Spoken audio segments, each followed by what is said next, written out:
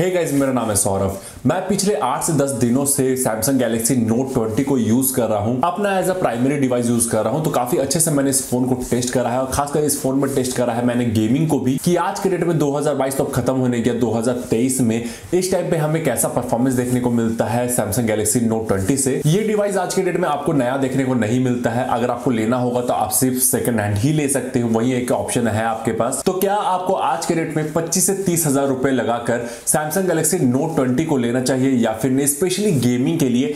वही आज हम जानेंगे इस वीडियो में कि हमें इस फ़ोन से कैसी गेमिंग परफॉर्मेंस देखने को मिलती है एफपीएस ड्रॉप्स वगैरह होते हैं या फिर नहीं लैग्स वगैरह होते हैं या फिर नहीं हीटिंग की इशू कैसी देखने को मिलती है, सारा कुछ। तो चलिए बात करते हैं कि हमें कैसी परफॉर्मेंस देखने को मिलती है इससे। तो सबसे पहले हमें बात कर लेते हैं इस फ़ोन के कुछ नॉर्मल स्पेक्स के बारे में। तो डिस्प्ले की बात कर लेते इस फ़ोन में हमें देखने को मिलता है सिक्स इंच की सुपर एमलेट प्लस डिस्प्ले जो कि एच डी प्लस को भी सपोर्ट करता है। प्रोसेसर की बात करते हैं, इस फ़ोन में हमें एक्सोनोस का 990 का प्रोसेसर देखने को मिलता है। एट जीबी की रैम भी देखने को मिल जाती है। कैमरा की बात करें तो 64 मेगापिक्सल का ट्रिपल रियर कैमरा सेटअप देखने को मिल जाता है इस फ़ोन में। 10 मेगापिक्सल का सेल्फी कैमरा देखने को मिलता है। बैटरी की बात करें तो 4300 एमएच की बैटरी देखने को मिलती है और 25 वॉट का चार्जर साथ में देखने को मिलता है। मैंने इस फ़ोन में बीजीएमआई और सीओडी दोनों को ही काफ़ी अच्छे से टेस्ट करा है। ज़्यादातर लोग बीजीएमआई में ही ज़्यादा इंटरेस्टेड है। तो हम उसी के बारे में बात करेंगे कि उसमें कैसी हमें परफॉर्मेंस देखने को मिलती है ग्राफिक सेटिंग वगैरह कैसे देखने को मिलते हैं। तो सबसे पहले हम बात कर लेते हैं ग्राफिक सेटिंग की तो यहाँ पर हमें स्मूथ में एक्सट्रीम तक का ऑप्शन देखने को मिलता है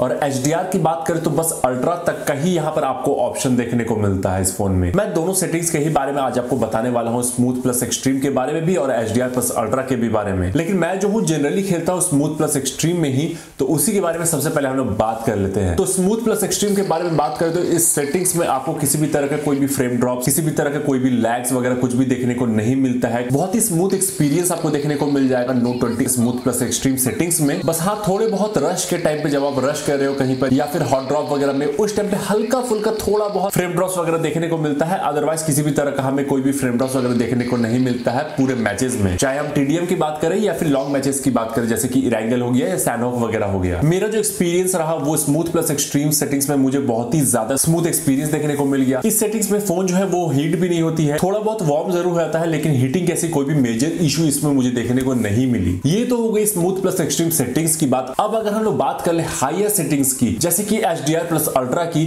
तो इस सेटिंग्स में एफपीएस ड्रॉप्स वगैरह काफ़ी ज़्यादा बढ़ जाते हैं। ग्राफिक्स देखने में बहुत ही ज़्यादा मस्त लगते हैं, लेकिन वहीं पर एफपीएस ड्रॉप्स काफ़ी ज़्यादा होते हैं। और एच डी प्लस अल्ट्रा में आप खेलोगे तो इस केस में आपको लैग्स वगैरह भी देखने को मिलते हैं। जब आप रश करोगे या फिर नॉर्मल मैचेस भी खेलोगे टीडीएम वगैरह भी खेलोगे तो वहाँ पर भी आपको लैग्स और फ्रेम ड्रॉप्स वगैरह देखने को मिलते हैं। और इस सेटिंग्स में आपको हीटिंग की भी इशू काफ़ी ज़्यादा देखने को मिल जाएगी हाँ मैं जानता हूँ कि नॉर्मल सेटिंग्स में हमें हीटिंग की इशू देखने को नहीं मिलती है लेकिन हाई सेटिंग्स में हीटिंग की इशू काफ़ी ज़्यादा बढ़ जाती है जिसकी वजह से फ्रेम ड्रॉप्स और लैग्स वगैरह हमें देखने को मिलते हैं इस फ़ोन में for the red team.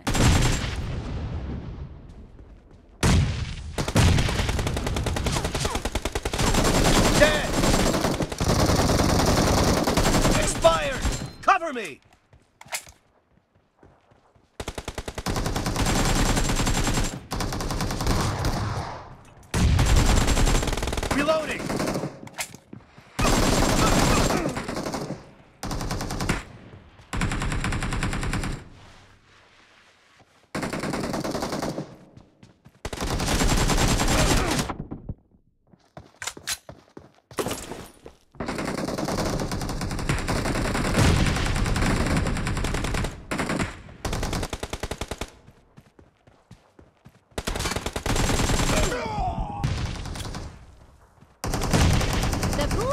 Team is unstoppable.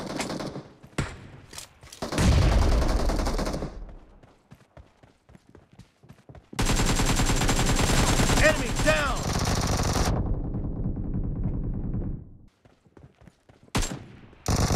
Killing spree for the red team.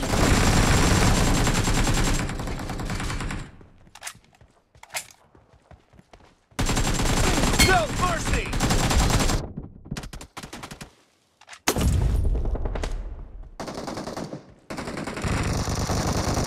The red team is in the lead.